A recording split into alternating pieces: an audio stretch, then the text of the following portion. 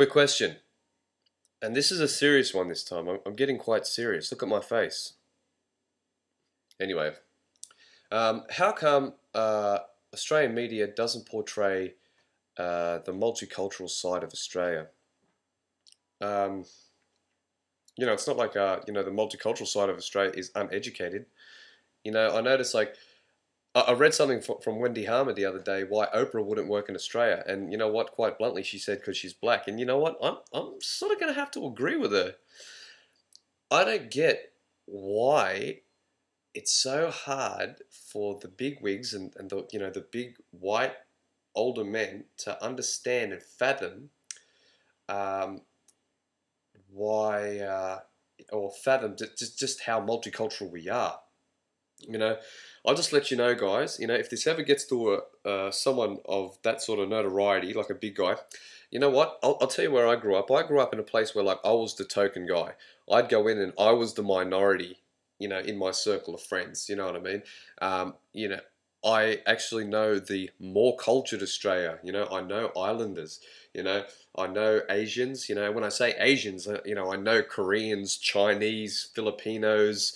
Um, you know what I mean? I, I know Cambodians, I know Laos, you know, Vietnamese. They don't just fall under fucking Asia to me, you know?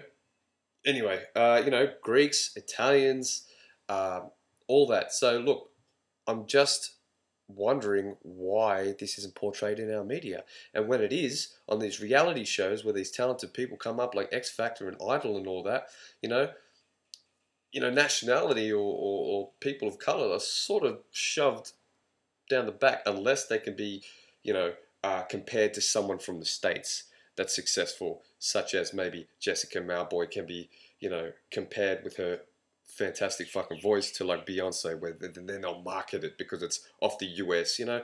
Fuck that. When are we going to embrace the Australian multiculturalism? I'm curious. I'm fucking so curious because to be honest, I'm sick and tired of um, of not being able to relate to my uh, TV. You know, my Australian TV, my uh, the the drama, the news, and all that. You know what I mean?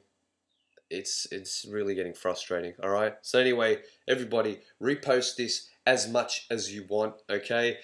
Uh, and uh, like I said, you know, my Islanders repost this, my Lebanese friends repost this, my Greek friends, my Italian friends, Vietnamese friends, Korean friends, Japanese friends, fucking, you know what, Filipino for every every friend that I have that's not white even necessarily that believes in exactly what the fuck I'm saying, please repost this. And you know what?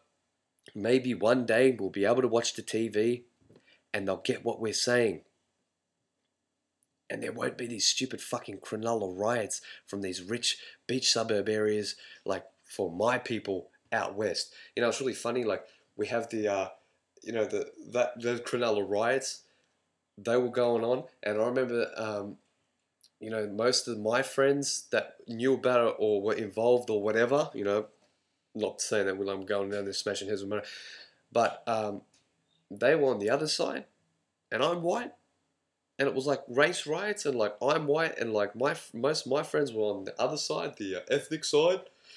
Get a clue, fuck knuckles, and all you rich people. Just so you know, all right. Lee Monroe, subscribe, repost this. Maybe one day we'll get it right. You know, Australia's supposed to be, you know, the land of like multiculturalism, yet it's not portrayed in anything we do. Anything. Okay, go watch Neighbours. Go watch Home and Away if you don't believe me. Where are they? Where are the other people? Don't tell them. Don't tell me it's not commercial either. All right, it is what it is. Australia is what it is. All right. Don't stop putting tokens in there. Sometimes you'll have a group. You may even have two or three islanders. You might have a couple of Asians in there. I think that's why Underbelly is so successful because it actually has to, whether or not they like it, they have to incorporate these facts that there are other ethnicities involved. And they wonder why it's a runaway success. See me out, buy me beer, and subscribe. YouTube.com forward slash Figgamortis. Repost this, bitches. Peace.